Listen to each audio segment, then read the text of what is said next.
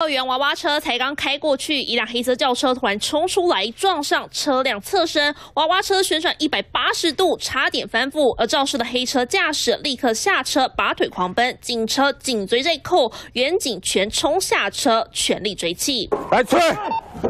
嫌犯蹲在别台车旁边，想试图躲过警方鹰眼，最后还是被逮个正着。原来他是一名枪炮通缉犯。什么东西？等一下啦，包包里面有东西吗？当时王姓男子开车看到警车心虚，加速逃逸，一路逃了七公里，拦腰撞上幼儿园校车。黑车先是撞上娃娃车，之后又失控撞上桥墩，车头毁损，而娃娃车车门也严重扭曲变形。当时车上除了驾驶，还有一名老师和两名学童。王楠试图弃车逃逸，仍被警员追上压制逮捕。经警方查询王楠身份，确认王楠为枪炮通缉犯。